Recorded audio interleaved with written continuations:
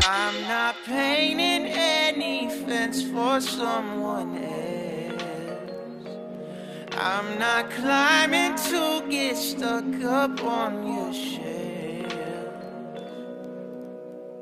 Where do I start? Can't bear these speed. Cause you kept my voice living